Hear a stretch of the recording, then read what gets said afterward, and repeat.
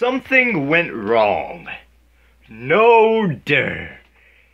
I first off, my controller's not plugged in, or not plugged in, but turned on. I I can't even select restart this Xbox.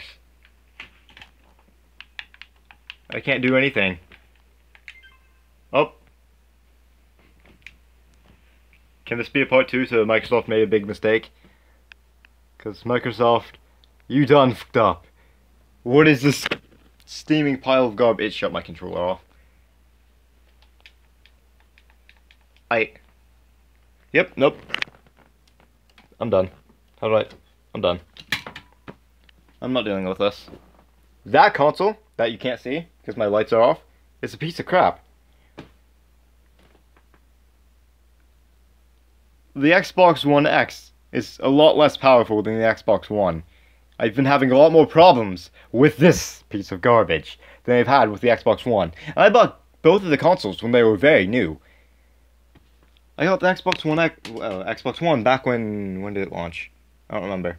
X uh Xbox maybe Xbox One. My audio is trash again. Give me a second. Put that in. I was uh,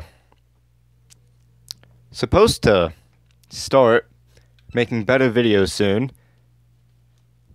But for now, let's see. When did this come out? Beautiful. Beautiful.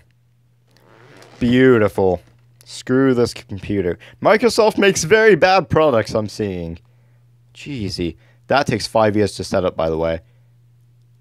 It's not even new. Up. It's not even a new screen. It just goes back to the Xbox One thing. Creative. It's not the best complaint. The only complaint I have is it takes five years to start up. It takes five years for the startup to start up. Release. Re. That's. Yep.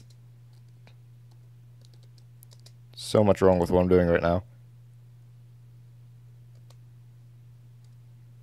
Let's see. This console came out in 2013 when I bought it. And it worked better than that thing. Good job, Microsoft.